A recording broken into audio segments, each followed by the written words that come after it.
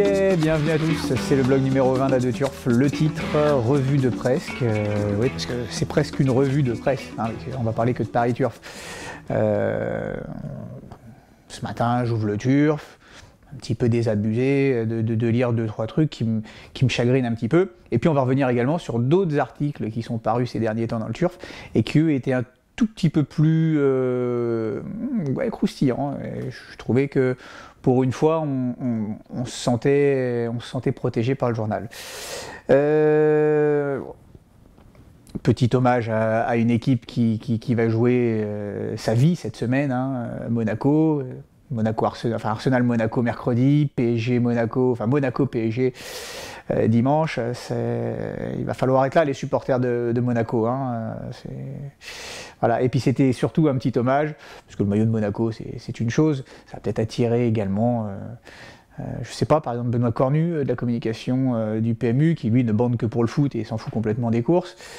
bah, peut-être que ça va attirer du monde. Et puis voilà, le truc c'est que Regardez, hop À Monaco, le douzième homme, c'est le public. Ah. non, je déconne. Euh, non, mais il faut un douzième homme euh, au foot. Tout le monde le sait bien. Et aux courses, euh, pour le moment, le douzième homme, on l'a souvent négligé. Ce douzième homme, c'est le public. Et alors là, c'est pour ça que je voulais rebondir, parce que putain, je, tombe sur la conférence de presse de fin de, fin de meeting d'hiver dans le Turf. Là, il y a un petit article. Et puis je lis, je lis des choses qui, oh, je, tombe par terre.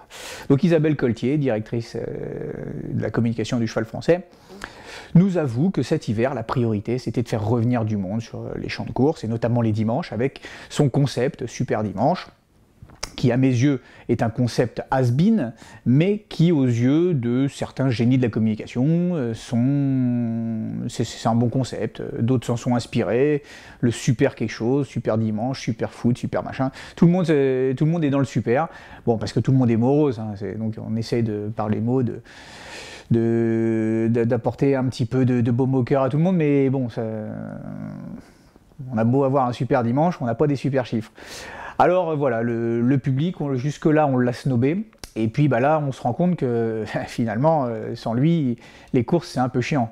Et c'est pas faux. Hein. Euh, donc, voilà, peut-être est-il déjà trop tard, peut-être ont-ils déjà fui. Et puis des opérations communication course comme ça, c'est bien. Je veux dire, Isabelle Coltier, on va pas, on va pas lui faire un procès aujourd'hui comparé à, son petit collègue euh, du, galop.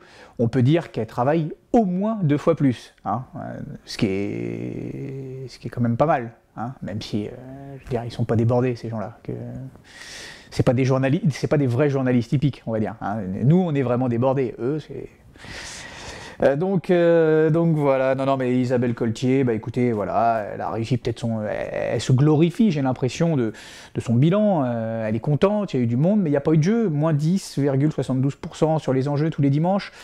Enfin, en moyenne, ça fait 1 million de, perdus, 1 million d'euros. Sur 12 ou 13 dimanches, je crois, bon, ça fait presque 100 000 euros de perdus par, dimanche d'enjeux sur, sur un hippodrome. Alors qu'on fait venir 13% de plus de gens il y a quand même quelque chose qui me choque. Euh, alors, je dis pas qu'ils se glorifient et qu'ils sont super contents. Ils sont contents. Hein. Euh, croyez-moi, ils, ne baissent pas la tête quand vous leur parlez de, leurs actions du dimanche. ils, ont l'impression qu'ils ont réussi une grande partie de, leur mission, puisque leur priorité, c'était ça.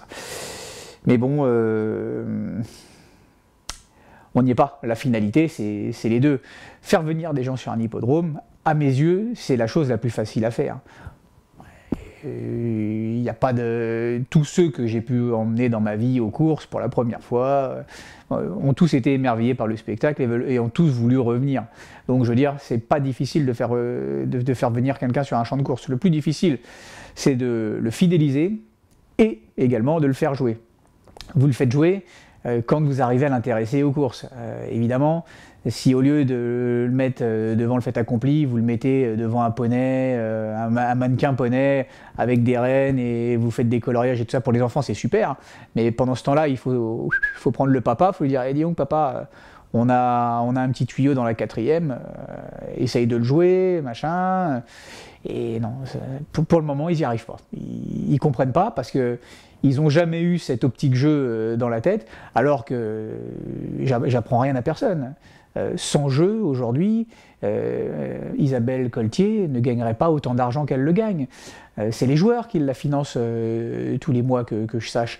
Tout comme euh, les dirigeants du PMU devraient se poser exactement la même question, au lieu de nous gonfler les couilles avec leurs paris sportifs et tout ça. C'est bien les paris sportifs, évidemment, ça fait gonfler le chiffre d'affaires, machin. Mais le cœur, ceux qui nous font gagner plus de 9 milliards par an, ce sont les joueurs de course. Et eux, ça fait presque 10 ans qu'on les oublie complètement. On se fout complètement de leurs attentes. Qu'est-ce qu'ils veulent, ces gens-là? C'est la question qui devrait se poser. Et s'ils se posaient vraiment la question, eh bien, ils auraient les réponses que je pense avoir. Hein, euh, je ne dis pas que j'ai la science infuse, mais qui permettraient de relancer la machine course et qui permettraient surtout d'arrêter d'être dans le négatif. Maintenant, ces gens-là au lieu de se poser des bonnes questions, préfèrent tomber dans la facilité et se dire bah nous on s'en fout, nous le jeu c'est pas notre truc, nous, nous, euh, fou là nous. Euh, alors le PMU dit nous le jeu on s'en bat les couilles, on est juste collecteur de paris, on prend l'oseille, on le redistribue, le reste, euh, la communication c'est le trop. Le trop dit bah nous on communique sur la passion des gens, sur les machins, et puis le reste on s'en fout, le jeu c'est pas, c'est pas nous. Donc personne veut s'intéresser au jeu, alors que c'est le cœur, c'est le cœur du problème, c'est le jeu. Hein. et j'attends toujours, il me semble qu'en début d'hiver, Guillaume Mopa avait parlé d'un jeu hippodrome qui aurait pu se pendant le meeting.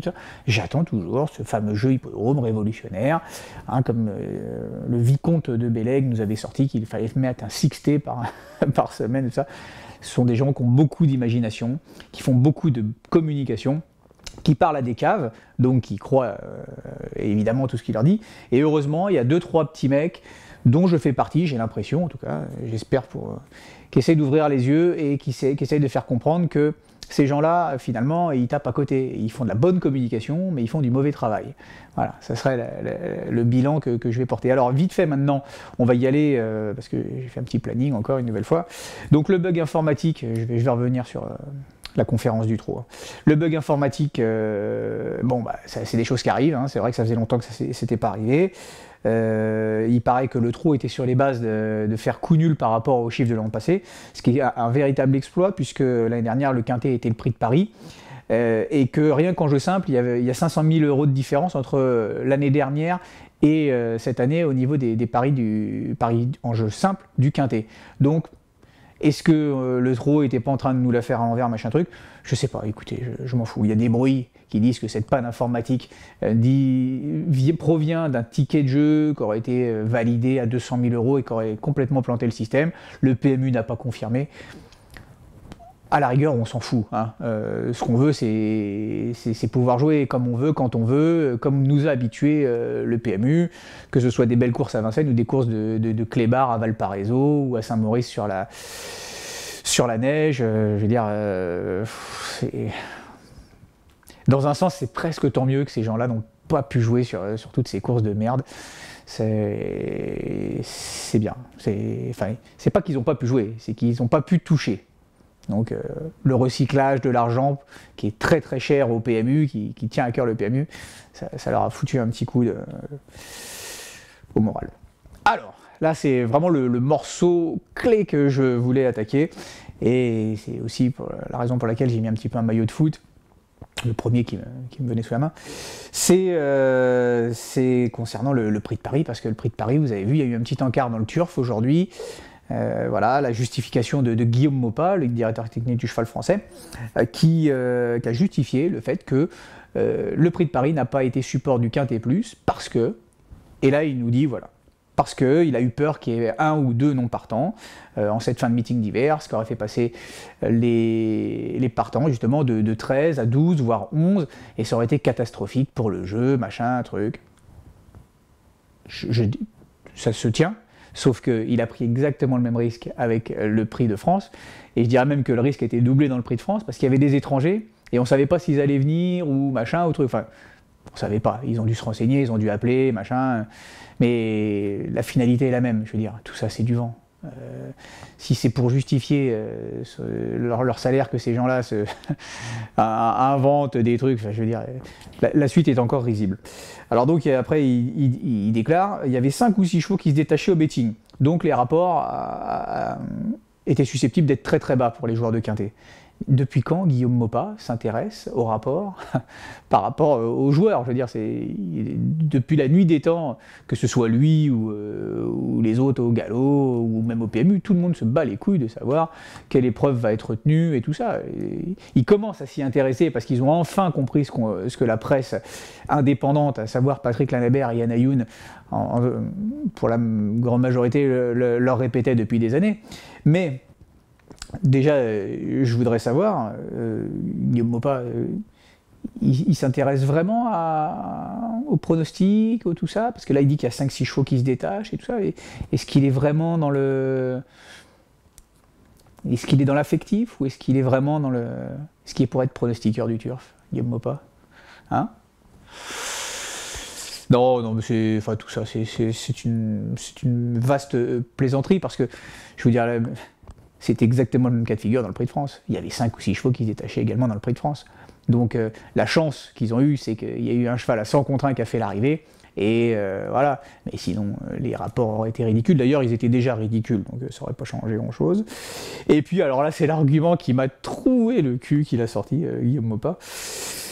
C'est que il n'y avait pas un cheval qui était susceptible de réaliser euh, la, triple couronne, d'enlever la triple couronne, à savoir gagner le prix d'Amérique, prix de France et prix de Paris. Donc ça c'est l'argument. Donc là, alors je vais, lui dire un, scoop à Guillaume Mopa, mais vraiment qu'il le répète à personne, hein, parce que s'il le répète, je saurais que ça, ça vient de moi.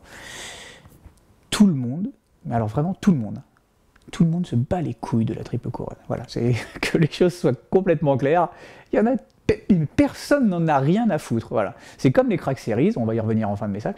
C'est comme les crack. Tout le monde s'en bat les couilles. Voilà. Euh, si lui, il voit qu'il y aurait eu un, mouvement médiatique par rapport à ça, que le Turf aurait, titré euh, triple couronne pour euh, Quick et que ça aurait fait un truc extraordinaire euh, dans le Parisien, dans le JT de France 2, dans le JT de Canal et tout ça. Non, non, non. Tout le monde s'en serait battu les couilles.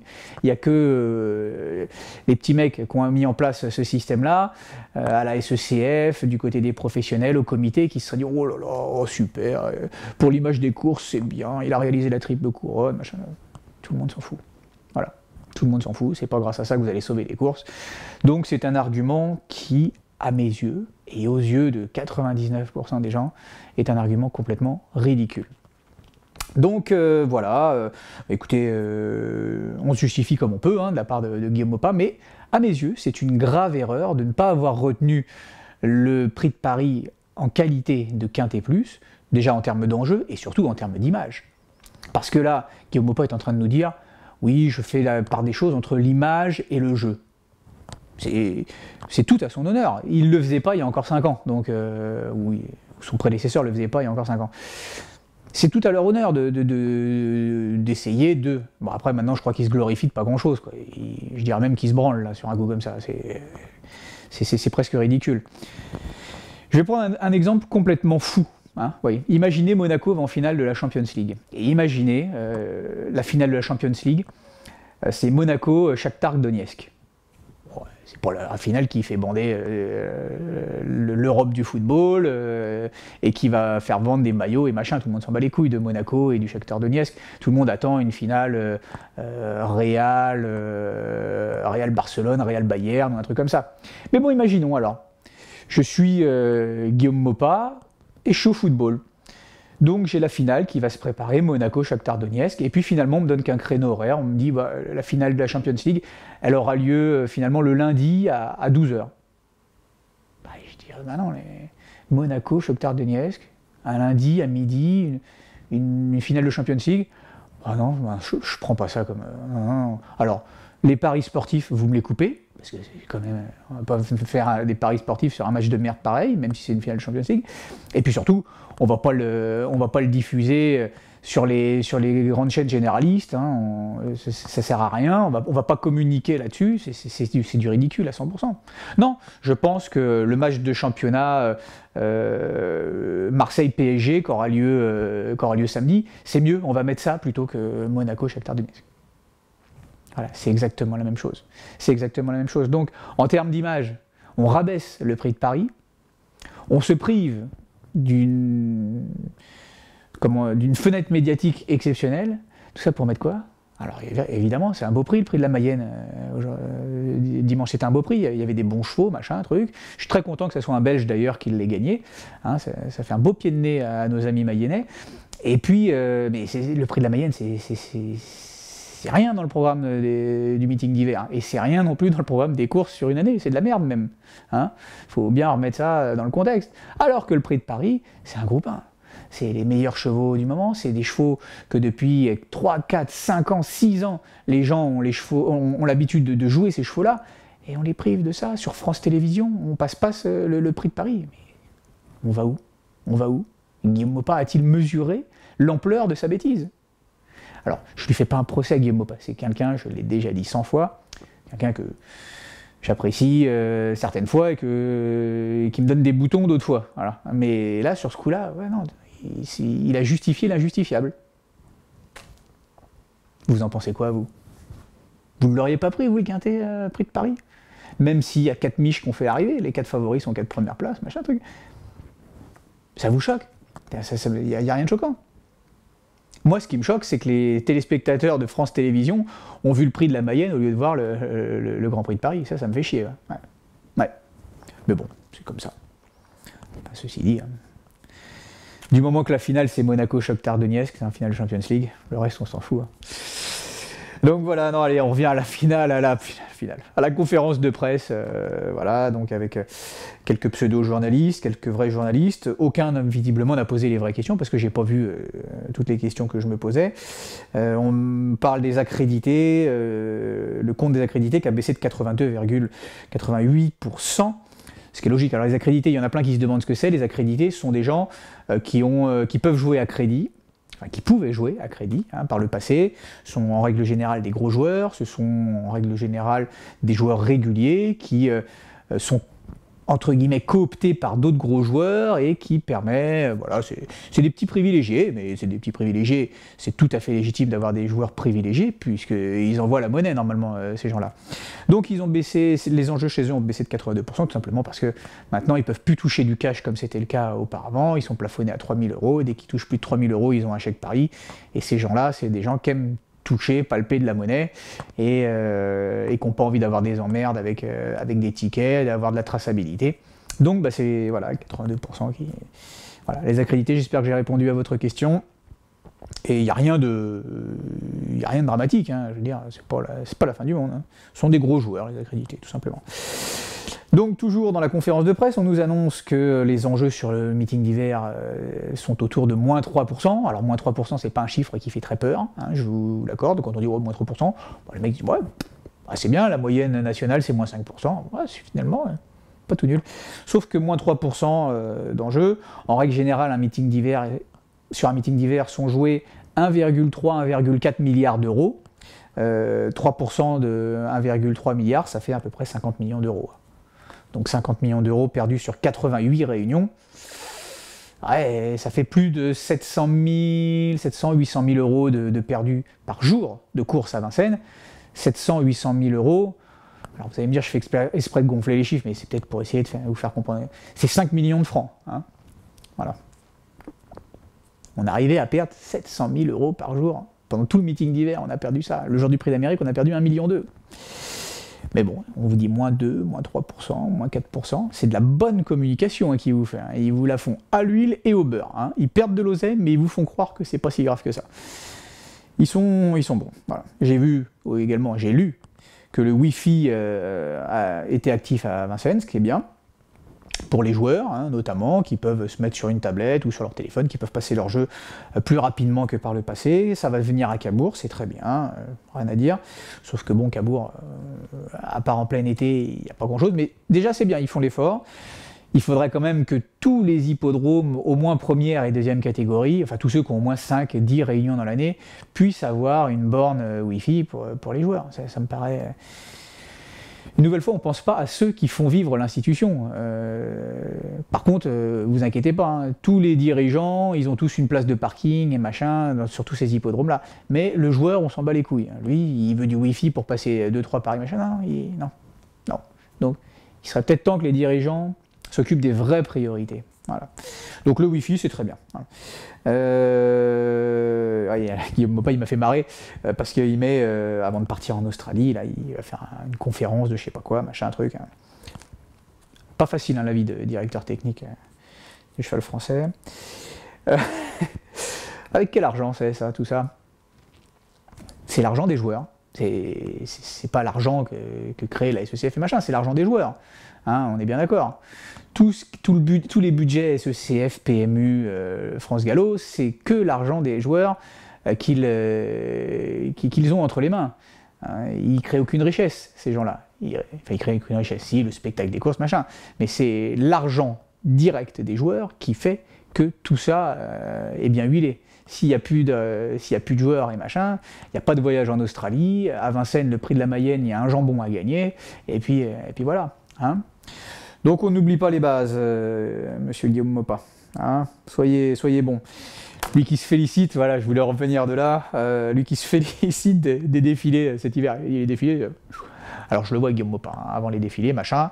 Il est à la sortie des, à la sortie des écuries, et puis il appelle les mecs. Hein, euh, tiens, Jean-Mi, Jean-Mi, Jean-Mi, tu. Ouais, hein, machin. Tiens, Garat, Garat. Là, là. Enfin, il leur parle pas comme ça, mais bon on voit bien que c'est le patron à Vincennes et qu'il essaye de placer, machin, parce que il faut qu'il en impose quand même, euh, Guillaume Mopa. Il a peut-être tort, il a peut-être raison. Chacun sa méthode. Là-dessus, je ne le critique pas.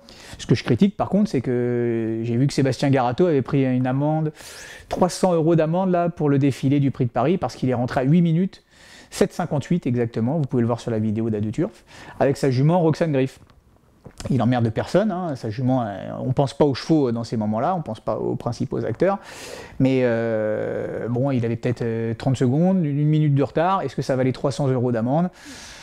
Voilà, en plus il a le numéro, il avait un gros numéro, il avait le 13 hein, je crois, hein, si je dis pas de conneries, il avait le 13, donc il rentre en dernier, il emmerde personne. S'il avait le numéro 1, évidemment que... Mais là il avait le 13, donc...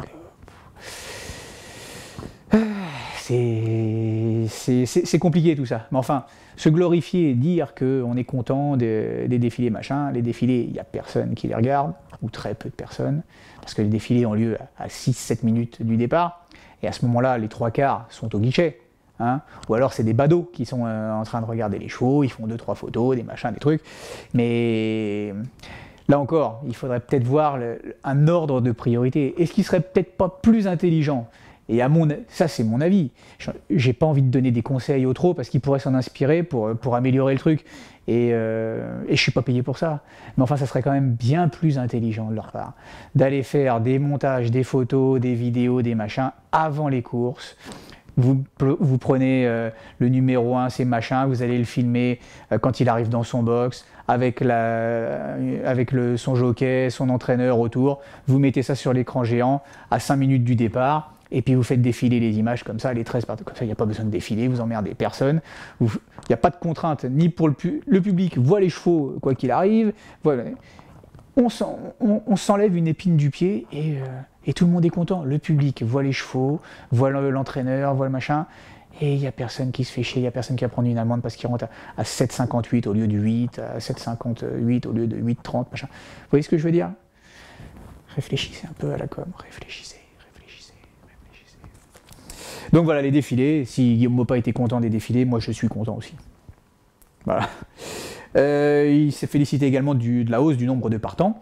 Alors j'ai envie de dire, euh, comme, euh, comme le, dit souvent d'ailleurs mes amis de Jackie et Michel, merci qui hein bah, Merci les étrangers, parce que s'il n'y a pas d'étrangers pendant le meeting d'hiver, déjà d'une part on serait fait chier, et puis d'autre part, on n'aurait pas eu beaucoup de quintés, hein, j'ai l'impression. Hein on aurait eu des quintés de merde à 13 partants, 14 partants, alors que là, avec euh, nos, Italiens que beaucoup critiquent, avec euh, nos Hollandais, nos, Allemands, euh, nos Belges, hein, heureusement qu'ils sont là, parce que on a l'impression qu'ils nous doivent tout, mais finalement, si ces courses européennes n'existaient pas,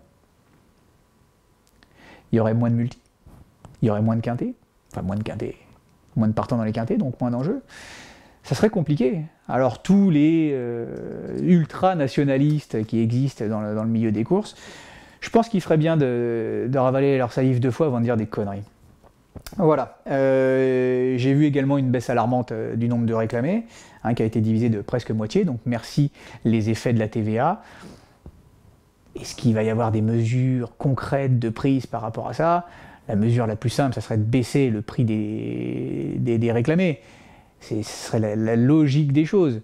Mais comme on a des, gens qui, n'ont rien compris à la tête euh, des programmes et qui continuent de nous mettre des chevaux à réclamer pour 40 000 euros alors qu'ils en valent que 20, eh ben, le commerce il est mort. Et en plus, vous leur mettez 20% de TVA dans la gueule, donc automatiquement, il n'y a pas de vente de chevaux. Et le but du réclamer, c'est ça, c'est de vendre. Hein. Sinon, vous ne courez pas à réclamer. Donc voilà, c'était un message personnel à tous mes amis. euh, oui, donc euh, il y a eu une augmentation des multis parce qu'il y a eu une augmentation des partants due à la, présence des étrangers. Donc ça a également boosté un petit peu le chiffre d'affaires du PMU, tant mieux. Mais, euh, mais, mais, mais, attention, hein, pour les années à venir, ça devrait être un signal d'alarme, tout ça. Et puis, et puis, qu'est-ce que j'ai mis? Ah oui, les indicateurs. Qu'est-ce que c'est ces indicateurs? J'arrive pas à retrouver. Ah oui, euh, Guillaume Mopa qui conclut, son, euh, qui conclut l'article. Euh, c'est pas lui qui le conclut, c'est pas lui qui l'écrit, bien que, à mon avis, il doit souvent écrire à la dictée auprès de certains de mes confrères. et donc voilà, il dit on va développer de plus en plus les indicateurs sur les aspects techniques pour donner encore plus d'attractivité euh, à notre meeting et optimiser le chiffre d'affaires en termes d'enjeux. Voilà, je pense que au lieu d'avoir des, des, indicateurs comme ça, il, ferait bien également de, de, se pencher vers les gens qui, d'une part, jouent, comprennent le système jeu et sont impliqués dedans. Alors je ne dis pas qu'il n'y a que des journalistes qui machin, mais il y a quand même deux, trois journalistes, je pense, qui pourraient les, les, ils pourraient les consulter, ils ne seraient pas dans le faux avec ces gens-là. Évidemment, c'est pas les gens qui l'apprécient le plus, euh, Guillaume Mopa. C'est des gens qui de temps en temps mettent un tacle là où ça fait mal. Parce qu'il a des lacunes au niveau du jeu, Guillaume Mopa il joue pas, euh, comme l'ensemble de nos dirigeants ne jouent pas, donc ils comprennent pas ce qu'on leur dit, c'est de l'hébreu ce qu'on leur dit. Donc, euh, ouais, non, je pense pas qu'il s'adresse aux, bonnes personnes. Quand, je, je, pense pas que Bernard Glass, une personne que j'aime beaucoup, et qui nous a fait d'ailleurs un petit clin d'œil sympa pour A2 Turf, avec My Meilleure Compagnie, je suis pas persuadé que ce soit l'homme le mieux placé pour le jeu. Hein. je ne suis pas persuadé non plus que Claude Pierre Santi, qui est dans les petits papiers de, Guillaume Mopa, soit la personne la plus apte à, parler du jeu. Je ne pense pas que Vincent Béguin soit la personne la plus à même de, dire euh, ce qu'il faut prendre comme quintet, comme multi, comme pic 5 et machin. Non, ce sont des gens qui, techniquement, euh, ils ont plein d'autres qualités, machin, mais au niveau du jeu, ils sont, ils sont pas dedans. Ils sont pas dedans. Je, serais... Euh, je serais Guillaume Mopa, même si ça me fait chier, euh, en tout cas si j'étais à sa place, je me tournerais plus vers des gens, euh, ah, je sais pas, dans la salle de presse, on, sait qui est plus axé jeu euh, que d'autres, hein. donc c'est vers ces gens-là qu'il faut se tourner, à mon avis. Hein. Surtout que 9 fois sur 10, ces gens-là sont de bonne composition, surtout quand vous les prenez dans le sens du poil. JF euh, Meyer, si tu m'écoutes, voilà, c'est un petit clin d'œil sympa. Euh, voilà, et on va finir donc euh, ce, long, ce long blog avec les fameux Crack Series, parce que j'ai vu que Booster Winner était numéro 1 des Crack Series, Up and Quick 17ème, donc on m'a taillé le cul quand je disais que les Crack Series c'était de la merde et que ça servait à rien et qu'au contraire ça allait foutre le doute et machin et truc. Donc je confirme, c'est vraiment de la grosse merde, c'est vraiment ridicule et faut arrêter quoi, faut arrêter. Booster winner numéro 1 euh, des crack series. Putain mais c'est comme si on disait euh, sur la saison de football, parce qu'il faut tout ramener au football aux courses, hein, sinon ils comprennent pas ces gens-là. C'est comme si vous disiez Rabiot, c'est le joueur de l'année au foot. Voilà, Rabiot, il a mis deux buts, c'est le héros d'une journée, mais c'est pas le héros de, pas le héros du, du championnat. Hein et oh putain, ouais, je, suis un peu déçu parce que je voulais. J'ai pas trop de temps. déjà, juste le petit sondage qu'il y a eu dans Paris Turf, parce que Paris Turf font leur truffide le cul de temps en temps, mais ils font des bons trucs aussi, il faut l'avouer. Pas souvent, mais ils le font quand même.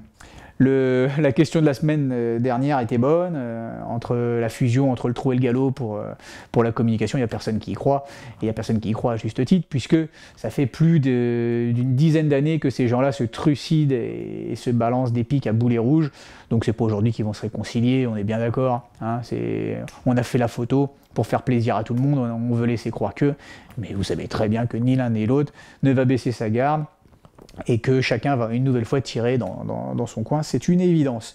Et puis euh, la dernière chose, le petit incident qui s'est passé à Anguin qui m'a bien plu parce que euh, il a été traité, hein, on l'a pas étouffé celui-là, et ça va me permettre de remettre également les pendules à l'heure sur deux trois petites choses.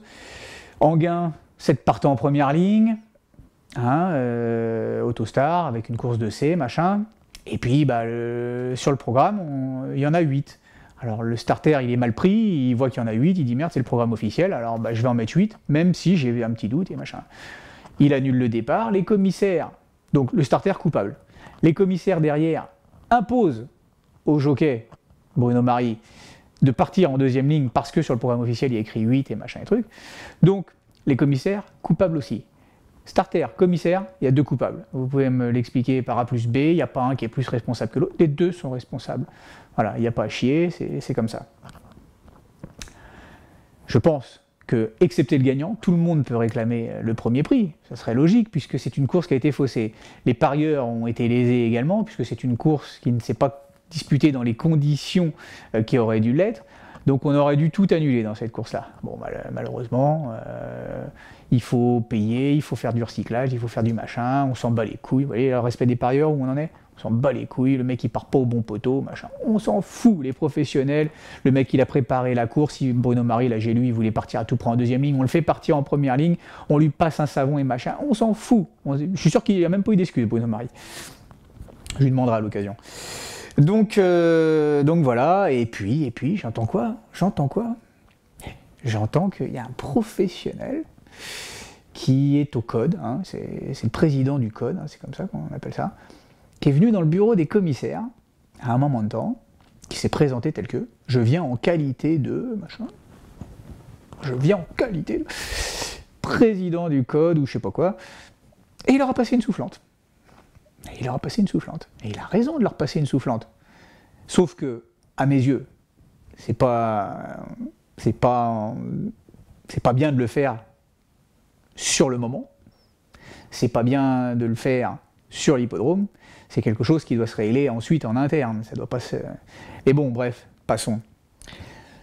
Ce même professionnel qui, il y a 3-4 ans de cela, avait pris volontairement mais inconsciemment la place d'un autre à l'autostar dans une belle course à Paris, hein, une belle course, hein, un préparatoire à un semi classique, qui n'a pas été sanctionné ce jour-là, il est parti à la mauvaise place derrière l'autostar, il n'a pas été sanctionné ce jour-là, et ce jour, il s'est pointé dans le bureau des commissaires en s'excusant, et donc il n'a pas eu de sanction.